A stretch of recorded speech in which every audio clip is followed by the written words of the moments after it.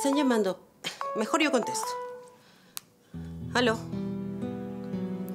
No, señor. Estrella no está dando entrevistas. Le he dicho que no. Yo no puedo responderle a eso. No insista, por favor. Han estado llamándote para entrevistarte de un montón de Diario Chicha. Y de la tele también, de, de otro de esos programas iguales o peores que el del Mondongón. Muchas gracias a las dos, de verdad. Gracias por contestar a todos los periodistas que han llamado y por haberme negado a los que vinieron. Ay, que no quiero contestar preguntas absurdas y mucho menos escuchar todas las porquerías que dicen sobre mí. Para eso estamos, hija. Tú tranquila, pero siempre con la frente en alto y la conciencia limpia. Pero tampoco puedo estar encerrada escondiéndome como si yo fuera culpable de algo. ¿Saben qué? Ya me cansé. Me cansé de ser la víctima a la que todos acusan sin ninguna prueba. Pero en un tiempo se olvidarán de esto, hija. Es cuestión de paciencia. ¿Paciencia? Paciencia nada, ya basta. Basta de esperar a que mi papá me defienda como si yo fuera una niñita indefensa. No, yo voy a empezar a resolver mis cosas. Voy a acusar a Sabrina de haberme robado la canción que Víctor del Barrio escribió para mí. Pero para eso tienes que tener pruebas contra ella. ¿Acaso los que me acusan de haber engañado a mi marido con Andrés tienen alguna prueba? ¿Ah? Sabrina me difama en su programa basura, me roba mis canciones, contrata gente para que hable peste de mí. Ya me cansé, me cansé de estar llorando por ahí. Le voy a demostrar que yo también puedo pelear y que yo también puedo golpear duro. Tienes razón, hija. Sabrina está detrás de la campaña de demolición que hay contra ti. Ya no te dejes pisotear. Y eso también va para Julio, que ni siquiera me cree. No. ¿No vas a perdonar a mi hijo? Perdóname, pero el diablo con Julio. Si él no cree en la mujer que dice amar, entonces no vale la pena. Lo siento, Berenice, pero es lo que ahora yo pienso. Julio murió para mí. Te extraño, amor,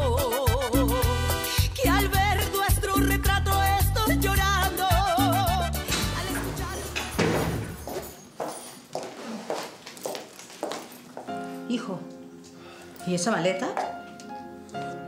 Me voy de la casa. Ya reservé el hotel.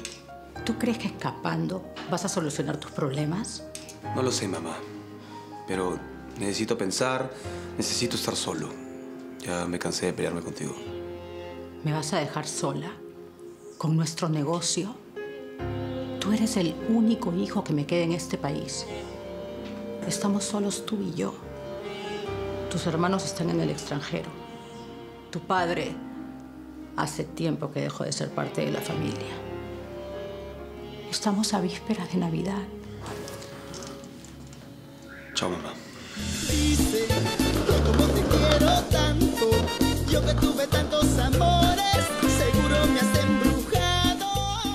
Julio prefiere creerles a los que piensan que soy una cualquiera que a mí. Lo único que yo hice mientras él estaba preso era ayudarlo en lo que pude y creer en su inocencia. Pero a él no le bastó. Yo sé que estás dolida con mi hijo. Yo también lo estaría. Pero yo lo conozco. Él va a recapacitar. Julio te ama. No necesito el amor de un hombre que no cree en mí. ¿No crees que estás siendo demasiado dura con él? ¿Demasiado dura yo? ¿Y él conmigo qué? ¿Cómo creen que me siento que mi marido se ha dejado convencer por la campaña de demolición que hay contra mí? Estrella, él está ofuscado, pero él... Pero nada. Quien te ama está contigo, no contra ti. Él no está contra ti, hija. Está cegado por los celos. Los celos no tienen nada que ver con el amor. Si Julio es celoso, pues entonces queda terapia. Pero a mí ni que me busque, porque no lo voy a perdonar. Dices eso porque estás herida. Pero tú lo amas. Ustedes se aman. No vas a tirar un amor por la borda tan bonito como el suyo. Fue Julio que acabó con nuestro amor al pensar mal de mí en lugar de creerme. Decir esto es lo que más me duele en la vida. Pero es la verdad. La estrella que sufre, que llora y que espera que su marido la perdone, se acabó.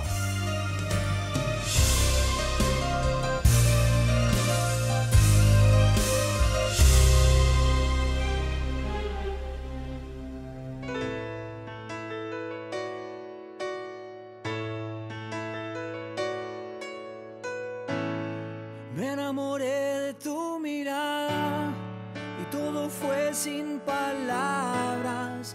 Sentí algo diferente esta vez.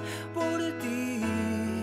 No quería ilusionarme, me caí tantas veces, hasta lloré sin saber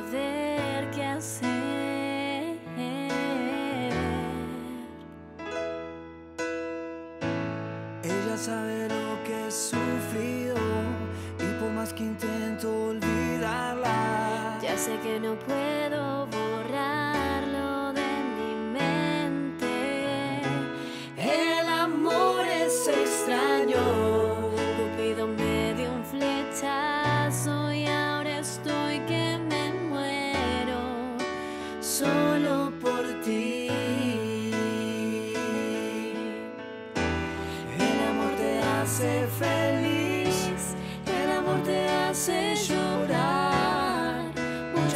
veces perder, aunque a veces ganar. Por eso cuando te vi, mi corazón no supo entender que yo de ti me enamoré.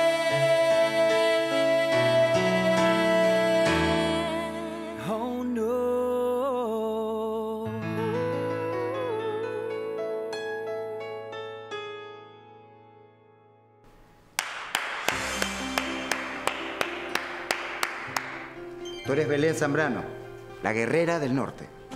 Sí, soy yo. Es un gusto conocerte personalmente. Anoche te vi en el show. Estuviste espectacular. Mi nombre es Claudio Ceballos. Soy dueño del Club Las Lomas. Club Las Lomas, el club, es buenazo ese club. ¿Cómo le va, señor? ¿Todo bien? Qué bien, qué bien, qué buena, qué buena onda. No Sí, lo sí. que es el lugar. Qué espectacular. Sí, bueno, tenemos un público muy exclusivo y por eso tenemos que dar shows de primera. No entiendo. ¿Esta es una oferta de trabajo? Así es.